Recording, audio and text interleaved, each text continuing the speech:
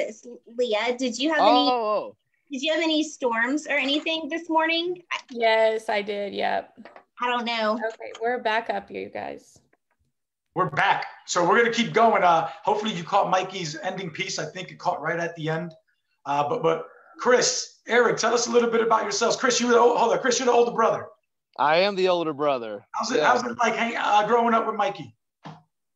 It was great. Um, I mean, we were brothers, so you know there are those ups and downs, but um, you know, but the downs are funny. That are always the things to look back on, and they're really funny. But um, uh, man, what was it like? Uh, I don't know. He was he, he's- he was a really he's a, he's a really good uh, little brother, and um, you know, when we were kids, he got on my nerves sometimes, but I know I've gotten on his nerves just as much. But it's cool. It's cool being in a band and touring together. Um, we keep each other accountable, and uh, um, yeah, it's just it's it's a different type of uh, chemistry. It it's good, and then sometimes when it's bad, I guess it's you know extra bad because uh, not that it's it's awful for us, but it's it's it's bad because you're brothers and you're trying to create something.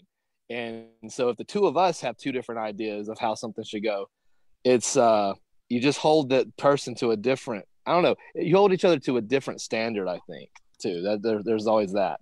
Um, as far as the creative side.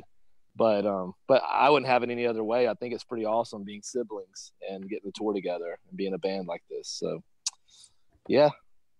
That's awesome, Eric. What about what about you, Eric?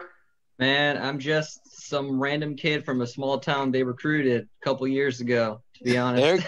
Eric, But, Eric's uh, our illegitimate. he- You're our illegitimate little brother now. I'm I'm pretty much the third Carvajal. Like on tour all the time, people always are just like, "Hey, you're Mikey's brother." I'm just like, "Yeah, pretty much." Yeah, he looks like family anyway. So Yeah, exactly. How did, You how did can't- y'all meet up? How did they recruit you? How did that happen? Facebook. I was just I was one of those guys that was I was really into technical technical guitar. I would just post videos on Facebook and YouTube all the time. But uh, he found me and he was just like, "Hey man, do you want to drop your whole life to go play in a band?" I was like, "All right, sure." yeah, Just like that. yeah, just like why not? I mean, he had never been on a plane. He had never had Taco Oh, yeah. Bell. We fixed all that. I'm from a very small town, man. How small? Uh, I think like maybe a thousand people. oh wow. Yeah. Oh yeah, little. It's little. it's little, man. Got one street light in the whole town. There's not a stoplight in my town, actually. How many people did you graduate high school with? Uh, my class was, I think, maybe 90 to like 130 people or something. Yeah, small. But yeah. After that, after after after your graduating class, the the, the high school just shut down. That was it. nah, there's there's plenty more people. Gosh.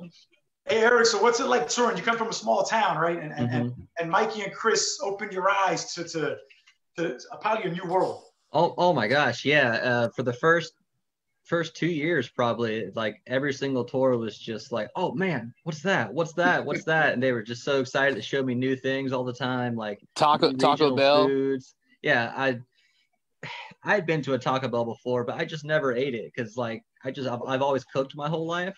But I had my first Taco Bell experience with the Carvajals, which is a strange thing for an American 23 year old to say. That is strange, right? No Taco Bell. You ain't had Taco Bell, McDonald's, or, or some other fast food restaurant. Yeah, that's a little